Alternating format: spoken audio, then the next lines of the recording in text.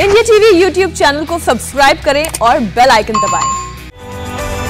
उत्तराखंड में नेतृत्व परिवर्तन को लेकर चल रही अटकलें फ़िलहाल थम गई हैं उत्तराखंड के सीएम त्रिवेंद्र सिंह रावत, गृह मंत्री अमित शाह और जेपी नड्डा समेत बीजेपी के कई बड़े नेताओं से मुलाकात की, जिसके बाद तेज़ी से यह कयास लगने लगे कि बीजेपी उत्तराखंड के सीएम को बदलने की तैयारी कर रही है। लेकिन देर रात यह साफ़ हो गया कि फ़िलहाल नेतृत्व परिवर्तन नहीं होगा।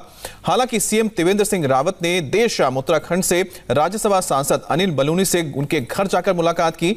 आज त्रिवेंद्र सिंह रावत दिल्ली से देहरादून लौट रहे हैं और इससे पहले बीजेपी ने रमन सिंह और दुष्यंत गौतम को देहरादून भेजा था, जिन्होंने बीजेपी के विधायकों से मुलाकात करके उनकी राय ली है और अपनी रिपोर्ट हाईकमान को सौंपी है। इस रिपोर्ट के बाद ही त्रिवेंद्र सिंह रावत हाईकमान से बात करने के लिए दिल्ली आए थे। नमस्ते, मैं हूँ मीनाक्षी जोशी। वीडियो और खबरों से अपडेट रहने के लिए India TV YouTube channel subscribe करें। बेल आइकन दबाना ना भूलें। जुड़े रहें इंडिया टीवी के साथ।